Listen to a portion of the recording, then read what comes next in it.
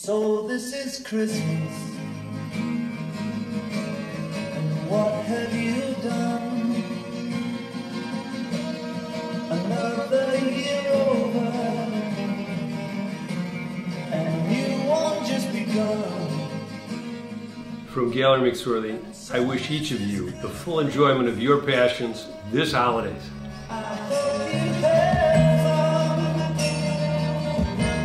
Than me